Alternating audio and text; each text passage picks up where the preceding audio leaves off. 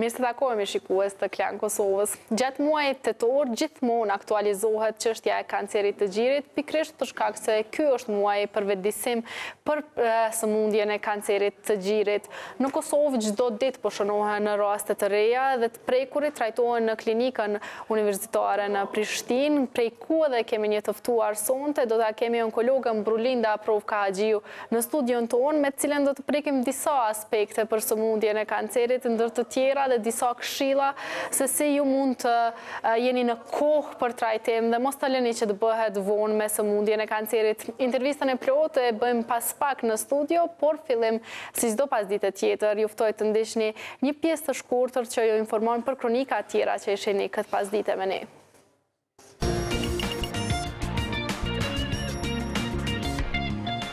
Si ju ndihmon grave shtatzëna faqja e Nanat?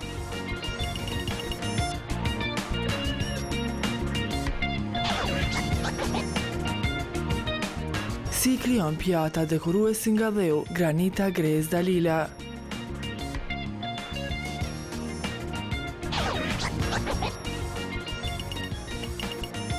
Sa u përshtat Zorata Lipovica në rolin e shankistës?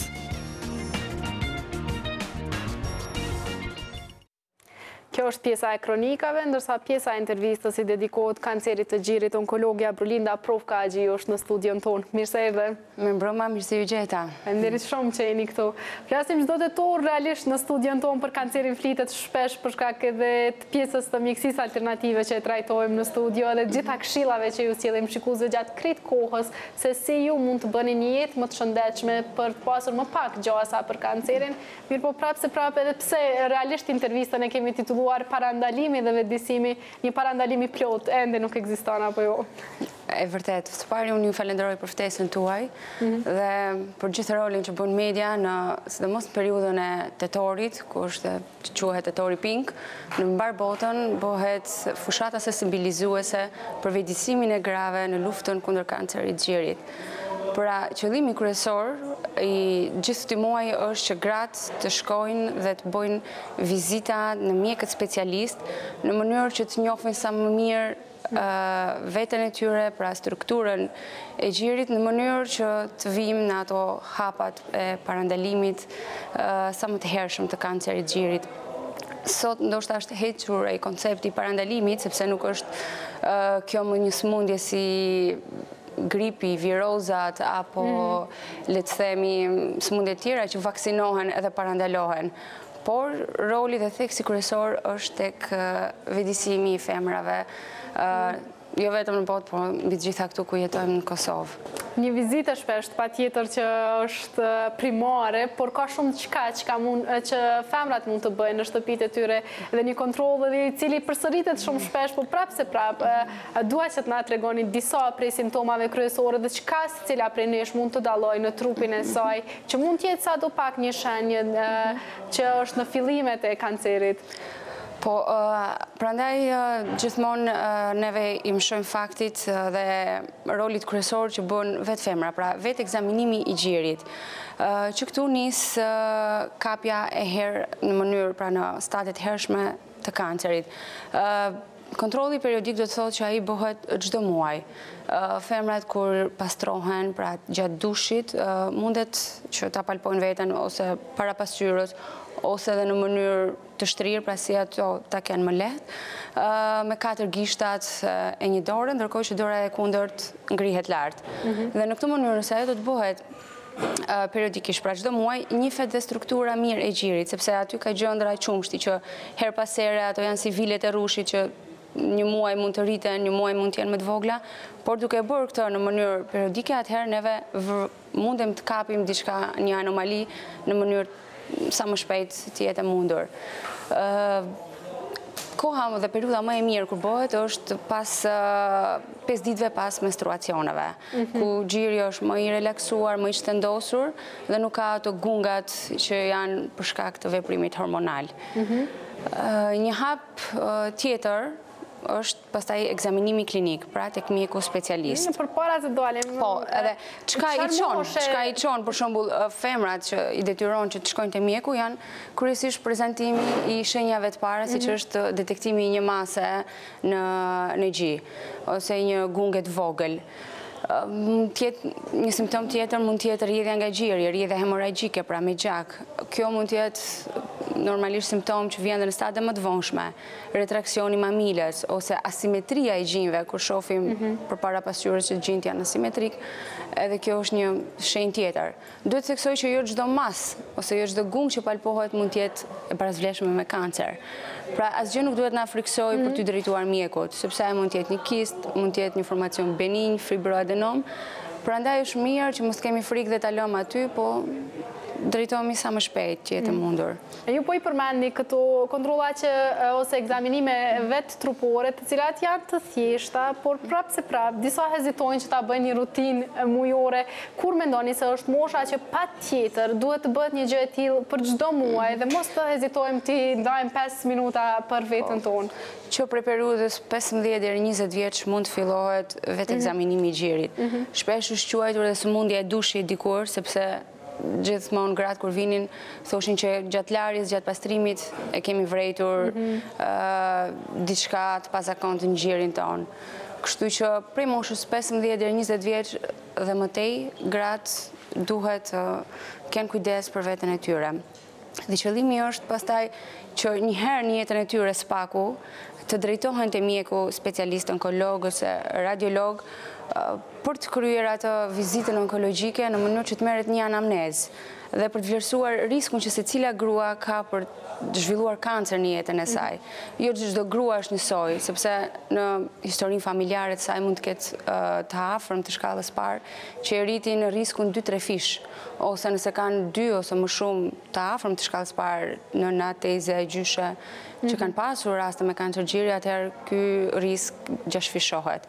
Dhe në këtë mënyrë dhe metoda dhe mënyra e përcjelljes mandej do të jetë e ndryshme në secilën grua. Mhm. Ndërsa një formë tjetër që duhet aspekt i ekzaminimit që është kryesore për detektimin e kancerit në fazat e hershme edhe pa u prekur ai me dorë është mamografia. Mamografia. Pikërisht te mamografia, ka një paragjykim të dukshëm prej grave për dëmet që mund t'i marrin prej mamografisë. Sa reale është që mund të ketë ndonjë dëm nga një ekzaminim i tillë, sepse shoh që shumë gra, sidomos nëpër zonat rurale, hezitojnë ta bëjnë një mamografi. Nuk është e vërtetë, sepse Janë bërë studime të shumta që i kanë nxjerrë këto të dhona që nuk ka rrezikshmëri në bërjen e ekzaminimeve të detyrueshme. Dhe prandej është vendosur një moshë mbi 40 vjeç, ku fillohet mamografia.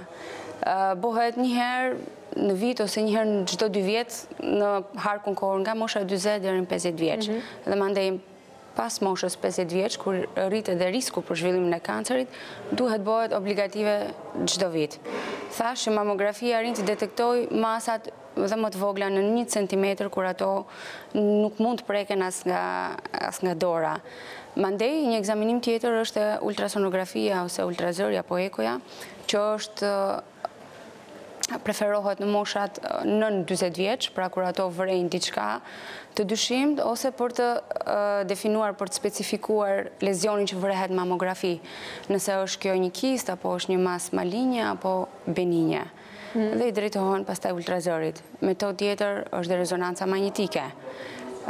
Kjo preferohet për ato femra të cilat kanë një risk të rritur për të zhvilluar kancerin e gjirit, dhe preferohet ekzaminimi më herët se mosha dyzet vjeç, pra ekzaminimi imazherik rreth moshës njëzet apo njëzet e pesë, tridhjetë, varësisht prej faktorëve të tjerë të riskut. Sa shpesh kjo ekzaminimi me rezonancë magnetike?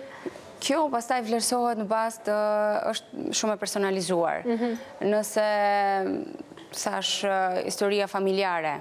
ose personat që mundet të kenë bërë testimin gjenetik për gjenet braka 1, braka 2, dhe janë mbartëse të këtij mutacioni gjenetik, atëherë te ato këshillohet të bohet ndoshta çdo vit ose në periudha çdo 2 vjet, në varsisht prej moshës. Sepse duhet të theksojmë që rezonanca magnetike nuk ka rreze jonizuese dhe prandaj preferohet tek moshat e reja. Ose dhe në ato gra që kanë një gji voluminoz, gji voluminoz masë dense e cila nuk mund të detektohet as me mamografi, atëherë ne përdorim pra ekon dhe rezonancën. Çka mhm. ndodh në Kosovë? Ju ndodh ndonjëherë në klinikë që të përcjellni disa gjenerata të cilat vijnë për kureshtjen e tyre, sepse prindërit ose gjyshja ose dikush në familjen e tyre ka pasur, sa shpesh bëhen kontrolla të tilla, sidomos në klinikën universitare? Zakonisht në klinikën universitare e Institutin e Onkologjisë, rastet kryesore janë gra të diagnostikuara me kancer gjiri. Mhm. Mirëpo, ato femra që e kanë shpesh na pysin që sa e ka rrezikun vajza ime mhm. për ta zhvilluar këtë patologji. Por aty neve japim udhëzimet për të kryer ekzaminimet e nevojshme në bazë në varësi të moshës, përkatëse dhe faktorëve të tjerë që dua t'i përmend është stili i jetesës, mhm, që është kryesorja që neve e kemi në dorë që mundet ta modifikojmë. Mhm, do të ndalemi mhm. pas pak edhe te kjo pjesë. Ka më shumë raste të zbulimit të hershëm apo të vonshëm në klinikë të kancerit? E sa janë të vetëdijesuar, realisht vijnë nëpër nivele shumë të vonshme kur shërimi është pothuajse i pamundur apo ka filluar ndërgjegjësimi i qytetarëve? Dikur ka pasur më shumë raste të cilat paraqiteshin në stadie më të avancuara. Për shkak të atyre miteve të vjetra që mendohet se nëse ka diçka aty mas, ajo do të jetë diçka e keqe, nëse e heq do dalë diçka e keqe dhe mund të përhapet në organizëm. Mhm. Po nuk është e vërtetë, nëse ajo është e keqe, ashtu është dhe ashtu ka për të dalë. Qëllimi është ta kapim në kohë, dhe nëse ajo është përhapur dhe në organe të tjera, atëherë kjo masë sigurisht që nuk preket dhe nuk ndërhyet aty. Ndërkohë, vitet e fundit vërehet që vetëdijesimi është rritur dhe shofim raste të cilat janë në stadin e hershëm të kancer gjirit të parë dhe të dytë. Mhm.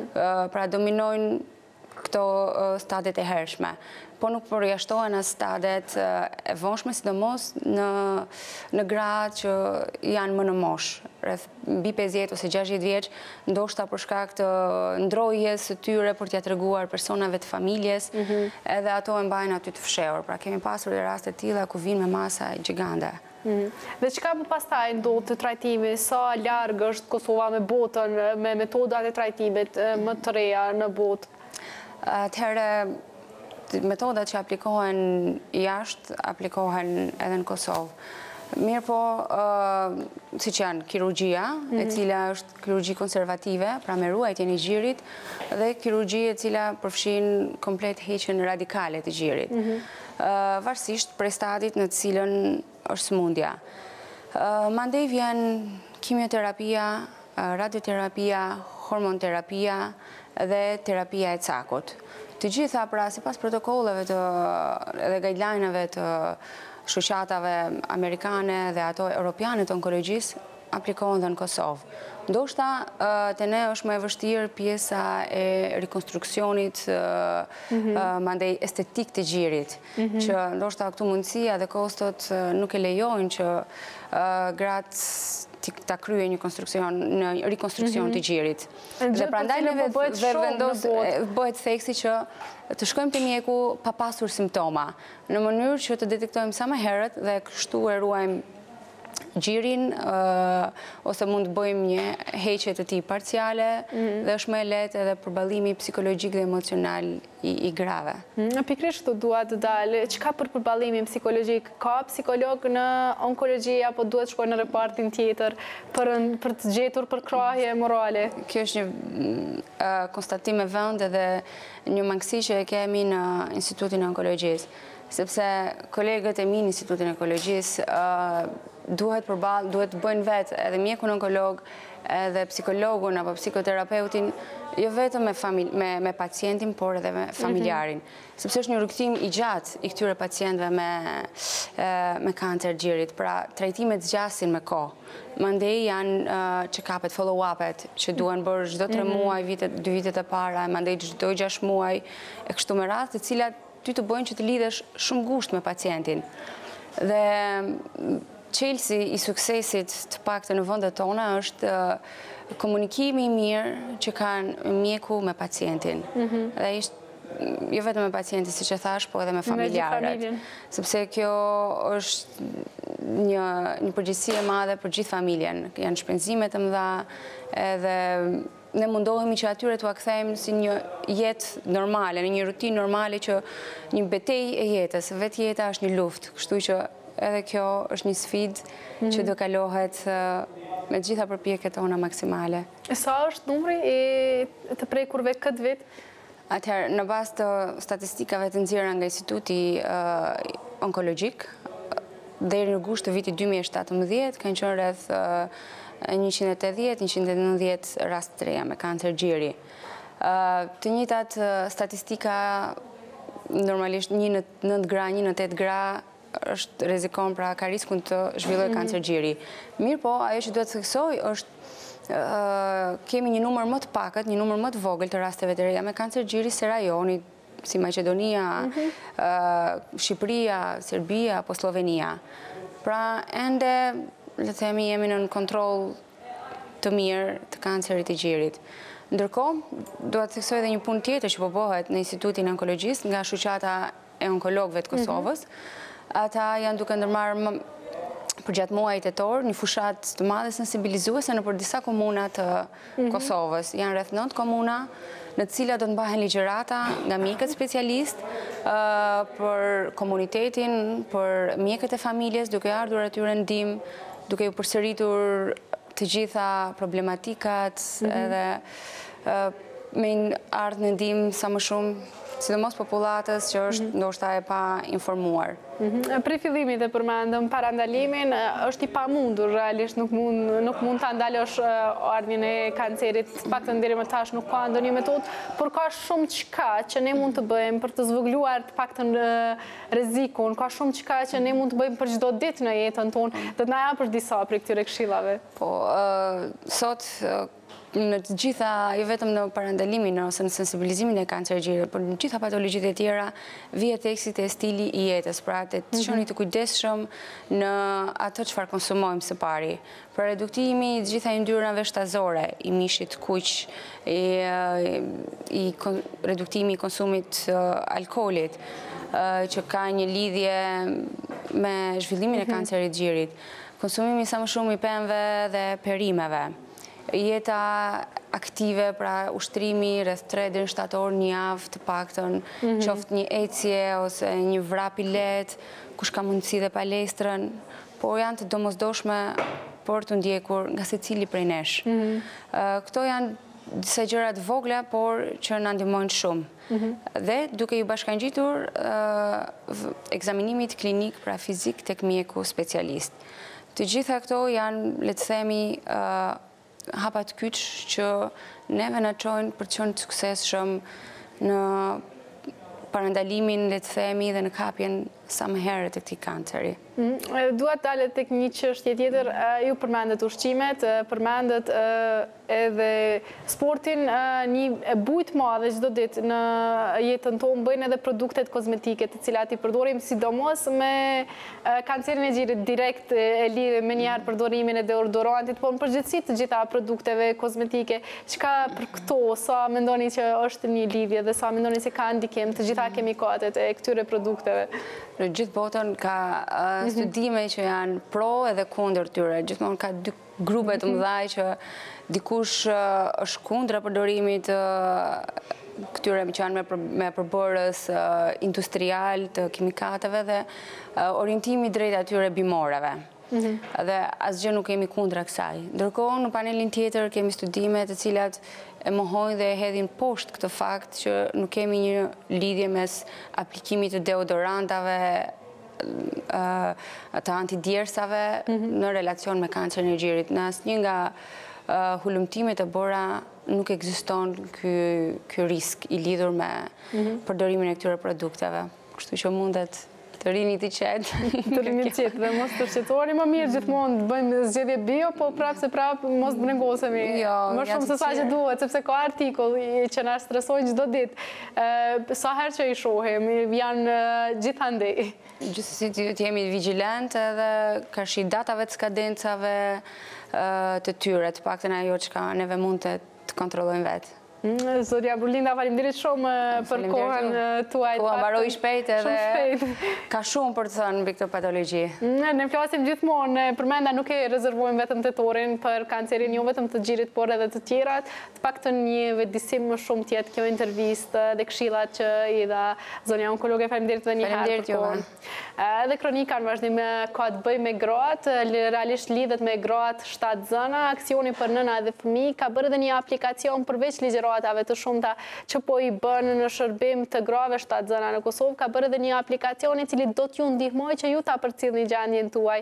Gjatë shtatzënisë me shumë këshilla përbrenda saj, Nana quhet aplikacioni, për të cilin më shumë na informon Adea Grezda në vazhdim.